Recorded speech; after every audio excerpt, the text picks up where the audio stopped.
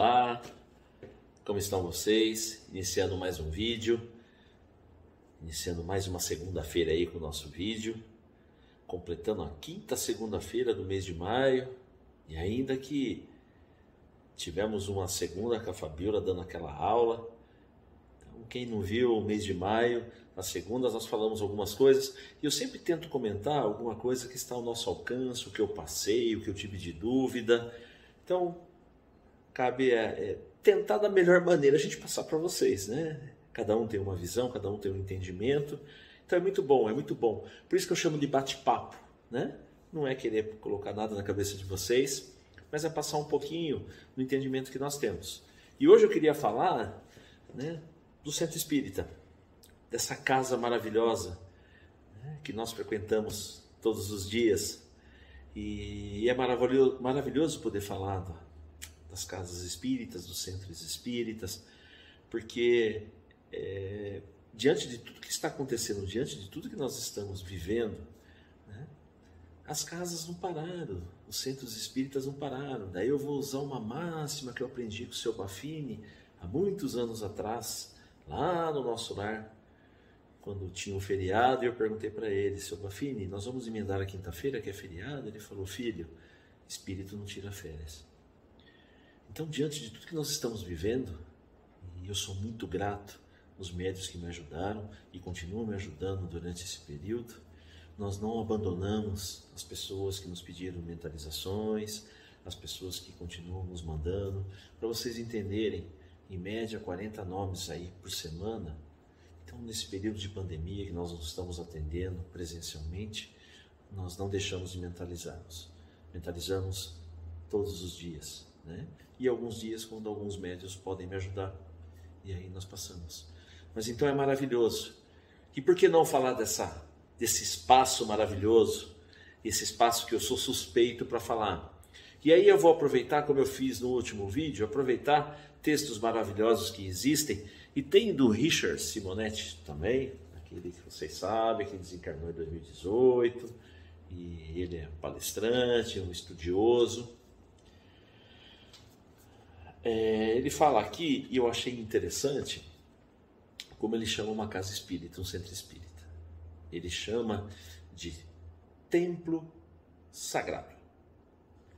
E aí você vai buscar né, a definição de templo, além de todas que temos.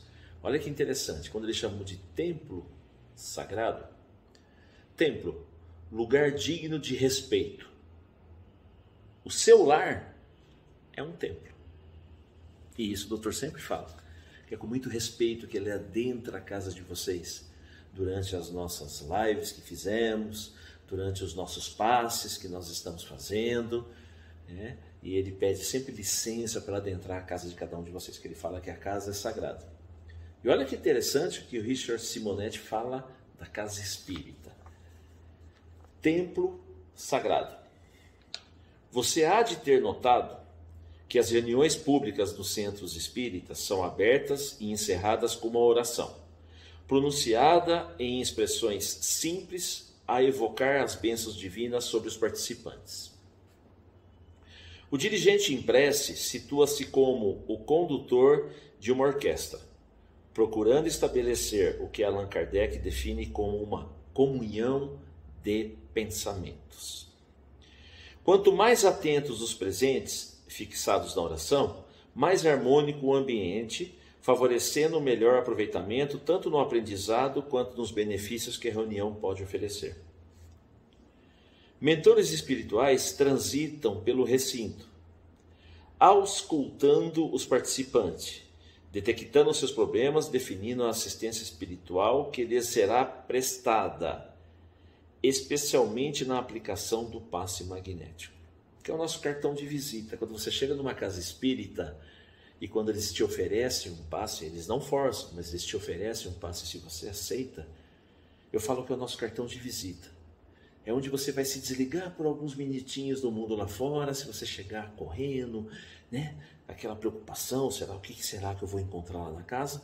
Então o passe te tranquiliza para que você possa aproveitar melhor o ambiente. E aí nós temos o lado também de pessoas desinteressadas que comparecem por insistência de familiares, são muitos, totalmente alheias aos objetivos da reunião. Comportam-se como músicos desafinados, se eles chamam de orquestra,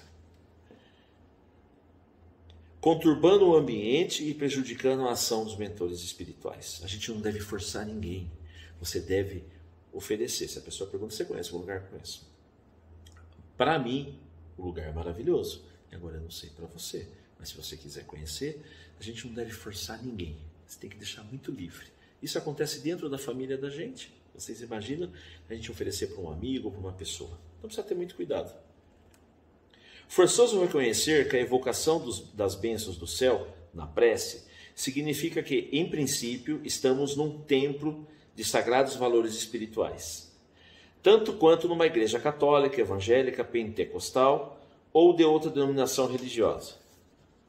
Embora o centro espírita seja para muitos que o procuram uma espécie de hospital para males do corpo e da alma, o aspecto templo deve ser destacado sob a pena de não recebermos os benefícios desejados. Isso significa, obviamente, uma postura de contrição e seriedade que nos coloque em sintonia vibratória com os mentores espirituais, que nos auscultam e auxiliam. É muito legal essa definição que ele dá de um centro espírita, principalmente por tanta coisa que a gente ouve, né? Tanta coisa que se fala do centro espírita, nada mais é do que isso. E vocês tentam imaginar o preparo que se faz para recebermos as pessoas, embora nesse período não estamos recebendo. Mas existe todo um preparo para que quando você adentra a casa espírita, você sinta uma energia maravilhosa. E como o doutor sempre nos diz, o centro tem que ser uma extensão da sua casa, para que você possa se sentir bem. E ele sempre fala para a gente também, e isso a gente tem que lembrar, que nós temos o direito de não gostarmos do lugar. Eu não gostei, eu não quero vir mais. Não é pecado, você não vai ser perseguido, você não vai ser prejudicado. Será que algum espírito vai atrás de mim? Não. O lugar é preparado para te ajudar. E de repente você não se identificou. E nem por isso você vai ser atacado. E aí, quando Richard Simonetti no livro O Clamor das Almas e ele fala templo sagrado, é porque é com muito respeito e com muito cuidado que é feito toda a preparação dos mentores espirituais da casa, para que possa receber as pessoas. Não adianta se você chega numa situação que você precisa de ajuda e você entra num ambiente com bagunça, gente brincando, falando, dando risada. Não é isso que você vai buscar. Você quer um abraço fraterno. Você quer receber uma palavra amiga. E como é o nome da nossa casa? Você quer ser acolhido. É casa do acolhimento espiritual, não casa de acolhimento. É do, é uma coisa individual, uma coisa sua. Você é carregado no colo, com muito carinho, com muito respeito, com muito amor, para cuidar de você. E o doutor tem uma máxima bem interessante para todos nós, que ele fala: cuidar de quem está bem é a coisa mais fácil. Por isso, todo preparo de uma casa espírita, e para quem não conhece, não sabe, vocês tentam imaginar, independente do que se acreditam, analisam quantos espíritos nós espíritas acreditamos, espíritos desencarnados e espíritos encarnados nos procuram. Imagina se você não tem um preparo, todo um equilíbrio espiritual para que possa receber essas pessoas. Então, quando Richard Simonetti ele chama um centro espírita de templo sagrado, não é nenhum exagero. É uma extensão do nosso lar, como ele diz, como diz a explicação de templo, lugar digno de respeito. Seu lar é um templo. É maravilhoso.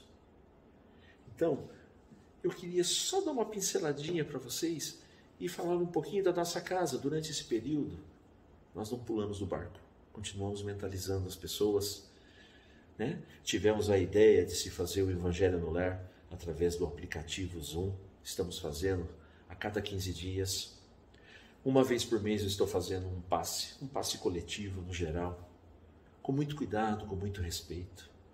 Então, o que é maravilhoso diante de não podermos estarmos juntos numa reunião, nós estendemos essa energia, que é uma energia dentro das casas espíritas, nas suas casas, através dessas reuniões que estamos fazendo. E olha que o Evangelho nos surpreendeu, é maravilhoso, que nada mais é do que feito uma leitura do Evangelho segundo o Espiritismo e nós todos, cada um no seu ambiente, em média 30 pessoas no ambiente da sua casa, e nós conversamos sobre aquela passagem lida no Evangelho segundo o Espiritismo. É maravilhoso. E ficamos contentes. Não sabemos quem começou, quem não começou, mas foi uma maneira que nós encontramos durante a pandemia de estarmos mais perto de vocês. Estamos mais perto mesmo de vocês. E é essa a nossa tentativa. Então, eu queria encerrar, né, esses meus vídeos aí no mês de maio e aproveitando essa segunda-feira e lembrando vocês que né, no mês de junho as equipes retornam cada segunda um tema e eles falarão do tema escolhido, então vai ser bem interessante também. E eu queria agradecer e deixar esse convite para vocês, deixar esse convite guardadinho aí, né, na sua caixinha, né, quando você estiver vacinado, quando as pessoas tiverem realmente a certeza que dá para sair de casa sem riscos, fica o convite para conhecer um verdadeiro templo, a casa do acolhimento espiritual. Muito obrigado, uma ótima semana para vocês, um beijo no coração de todos vocês.